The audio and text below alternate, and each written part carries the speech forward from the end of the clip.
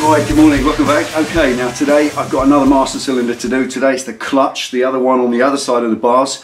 Good to get them done because when they're all absolutely perfect, you know you'll not have any issues in the future. Also want to get the oil cooler lines plumbed in. I've got those unions now. I can torque those into the engine so they're there permanently and then I can maybe chop up the lines and route them in the correct way. I've got loads of extra on those Goodridge hoses. I get them cut to length, routed the right way and that's the oil cooler signed off and finished. So there we are, let's get stuck into that. Today, 28 Hayabusa build. Welcome back.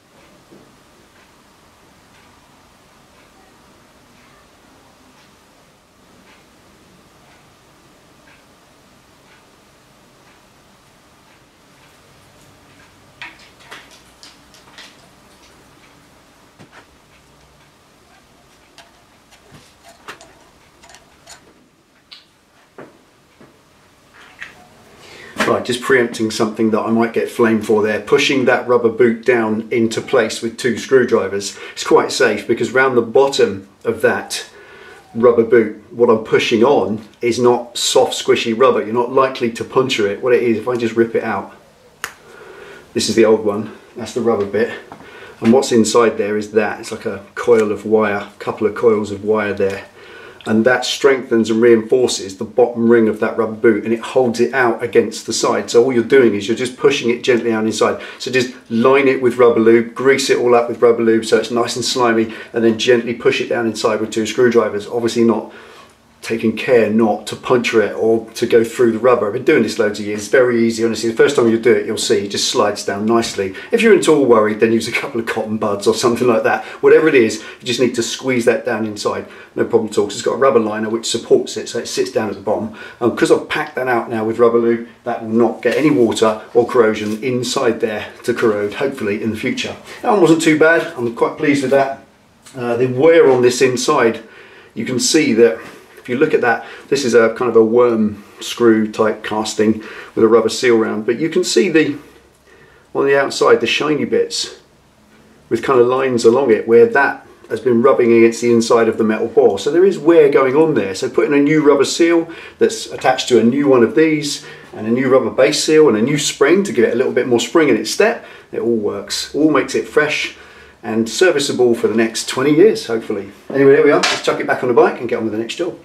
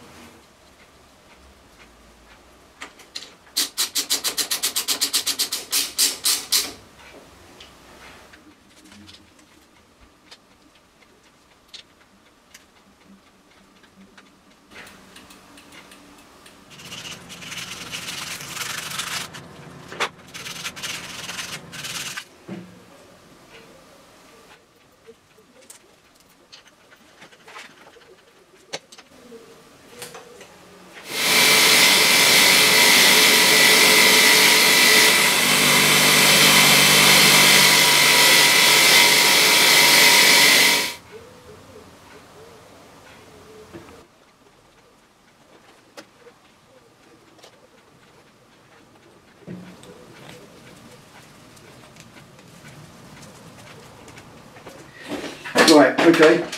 Okay, that's all the hydraulics done, all seven units, if you consider the brake calipers, master and slave, all together, seven units done, tick, underlined, no more need to worry about that. So one more job today, plumb the oil cooler in, make sure I don't need to buy any more parts for that or fabricate anything else for that. Once that all plumbs in okay, nice and safe, then that's it. Then there's just two more jobs left before I get into fabrication. I am that close. So let's get it jacked up and get that bit done.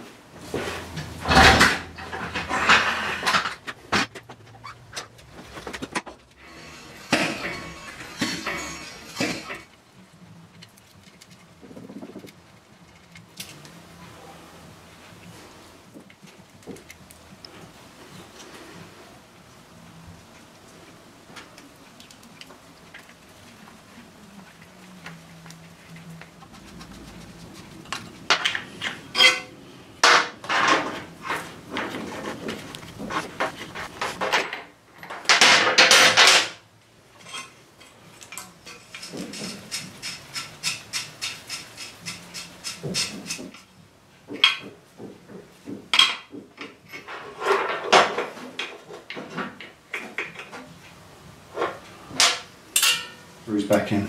50% success on the plumbing for the oil cooler. That pipe, the first one, bang on. Looks absolutely perfect, fits perfectly, curled inside the headers, lovely, unobtrusive, neat, tidy looking install of the first oil feed pipe. The second one, couldn't be more difficult. It just doesn't matter which way I stack it, it's not going to fit. The problem is I bought two of these 90 degree unions. They fit flange flat against the engine with an O-ring and it just brings out 90 degree and that worked on the other one perfectly because it comes out the engine like that at 90 degrees and then fits that way and runs off round to the cooler.